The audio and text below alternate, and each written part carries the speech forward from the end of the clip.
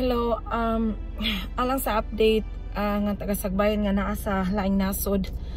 Um, since gabi eh, sa Filipino time, December 16, 2021, um, around 9.46, wala na ako kakita og taga Sagbayan nga nag-post. After that, mo na to ang lang last nga post kay kusog na kaayo.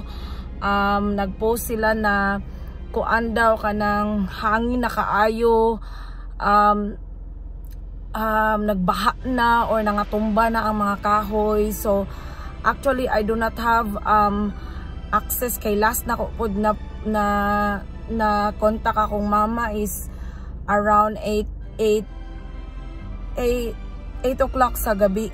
Actually 8 o'clock nag-message pa siya but among formal na istorya is um, around kuan siya um, around alas 5 sa hapon gyud na ingon siya nga mag burn out daw. So nagandam na silang mga batteries or unsa. Um, naatay balita nga nang lupad ang mga atop but um, kaloy sa Ginoo um, nag-mention sila nga they are safe.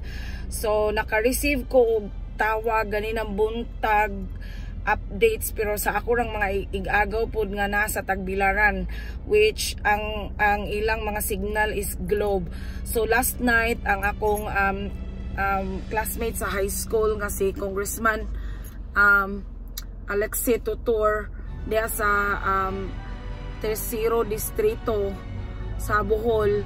Um, nag-mention siya nga kanang globe ray na ay signal hinay pagyod din ang smart og ang PLDT um koan tower yata is down. So we will keep you posted but so far nag-mention pod sa ako ang taga Sagbayan nga si uh, Maricar no nga kuan pod na sa atong uh, atong community. Active pod na siya sa atong community nga na-post gikan ni um, Governor Rico Mentado nga wa sila kay bagon saon nila pag-update sa uban tungod kay dili magian ang mga karsada. But hinglurang na ang hangin so um, dili na taangay mabalaka.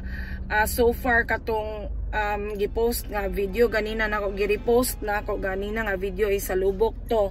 So I think nanay rescue on the way dito but um, wa tay clear as of this time it's 3.16 sa akong oras Pilipinas which is the same sa ako adiri sa Western Australia. Um gi-mention nila nga kanang unsay nga anak kanang na-mention diri nga um sa nga aning um wala pagyoy bisang usa nila nga nakakontak sa ilang family. Og ako pong gitan-aw walay bisan usa nila nga nag-online as of this moment.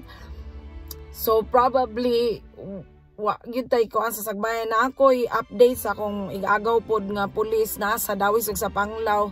Uh, worst kaayo no? Pero dapit man sila sa coastal line. So hopefully uh, safe ang sagbayan. Um hopefully um, kay naa may in place po. Nagbutang man si Mayor Junjun Suarez og uh, evacuation center. So hopefully naka-evacuate ang tanan uh, although ning sakat as signal number 5 I think gabi so um wa na ko ka monitor after 10 o 11 o'clock. Kay wala namang gyud koy ma-contact from there. Surely ang mga taga Sagbayan um mo update gyud na. But as of this moment wala ko update nga mahatag ninyo. Um uh, just message me katong mga naanay contact nako since katong paglinog last time. Uh, kani bagyo na pud natong giatubang but hopefully okay ra tong mga pamilya. Uh, personally makaring ko sa kong auntie. She should have been the only way but she's not answering her phone. So globe siya akong mama dili na gyud ako makontak.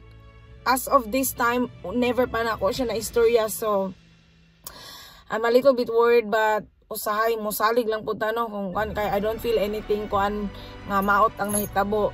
Um keep calm lang taon niya magpray lang pud ta para nila. So as long as naa sila pagkaon I know walay kuryente walay tubig. So basin makakuha pas lang tubig uban na may mga puso. So sure ko nga magtinabangay tatanan But any update, I will I will keep you posted sa akong Facebook page o sa Lumad Sagbayanon. Ako pong i-try og share ninyo sa Sagbayan, uh, taga Sagbayan kakong page.